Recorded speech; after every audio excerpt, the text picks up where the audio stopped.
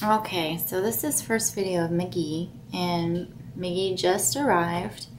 Um, he was found out in the country by a barn uh, when he was about four, four or five years old, and was taken in by the older couple that lived there.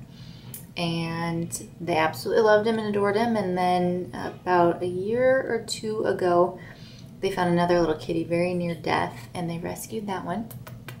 Hey. And McGee decided that he didn't want to share his household with another kitty. And this kitty was a victim kitty, and so he would chase and be mean to this other kitty. Um, he has had a really rough afternoon. Um, when I met him and did his evaluation, um, super sweet, up on my lap, greeting me at the door. Right now, um, his owners um, showed up a little bit early to the meeting spot and uh, he was left out in a car with the windows cracked in the sunshine. He was panting um, heavily. Um, he's drooling a little bit now.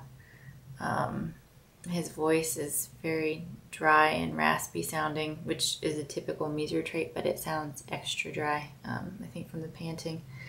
But I picked him up. I was able to um, get him to a cool bathroom, get him some water, and then um, and I gave him a flea pill and um, tried to get that down his throat, and that didn't work so well. So I made him really mad. He was like, "You nice lady, and you try and give me pills, and just wait, because there's a bathtub waiting for you." Poor McGee. Um, yeah, I know, buddy. I want to show everybody how gorgeous you are. He is 14 pounds. He's a big boy. Um, right now, we're estimating his age between like seven and eight years old. Um, when he was found um, out in the country, he was neutered and also front paw declawed. So he was somebody's at some point in time. And uh, it's just been a really rough day. He had to go to the vet and um, get blood drawn and a blood test done um, to make sure he was combo tested negative and and now I'm going to give him a bath and give him some more medicine, clean his ears out, and trim his nails, and just generally be a meanie. But um, that's what we do with all of our kitties that come in.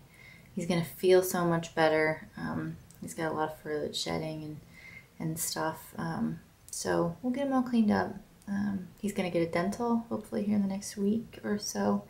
And um, we'll get him all recouped from that. He's got some some teeth that are sore and ouchy, so I'm sure he's gonna have some extractions. But anyway, I, somebody that wants one cat, one big lovey lap cat, um, somebody that's like their ambassador, the door greeter, um, doesn't know any strangers, um, and uh, somebody that can handle a cat that gets a little miffed off when you give him medicine. So anyway.